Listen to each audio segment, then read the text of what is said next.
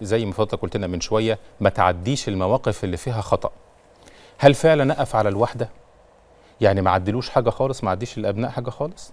ولا آه إزاي يكون النصح؟ يعني عايز أدخل من هنا برضو لفكرة العقاب ولو إني بستثقل هذه الكلمة. خلينا نقول التقويم. إزاي أقوم سلوك ابني لو أخطأ؟ من أمن العقاب أساء الأدب. من أمن العقاب أساء الأدب.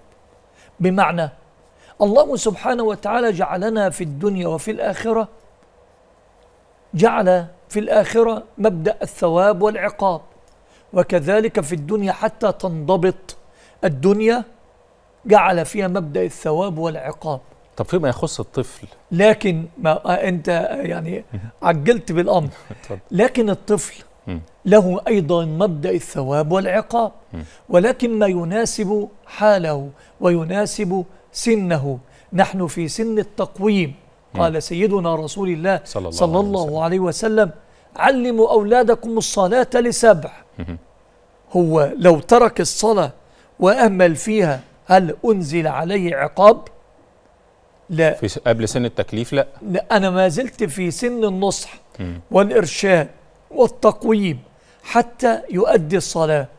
وبيأديها قد يكون غير مكتمل الوضوء.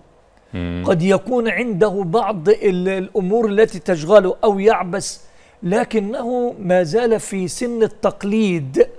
بيقلد الأب والأم في صلاة حتى إن بعض الأطفال آه، مامتهم عندها مشاكل في رجليها فبتصلي وهي قاعدة فبتلاقي الولد بيصلي صحيح. مثل أمه. صحيح. فهنا آه، ال ال الاقتداء النبي صلى الله عليه وسلم قال علموا. أولادكم الصلاة لسبع.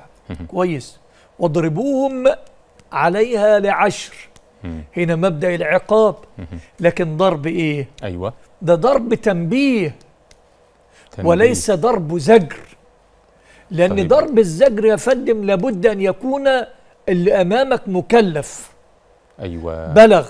طب دي نقطة في غاية الأهمية.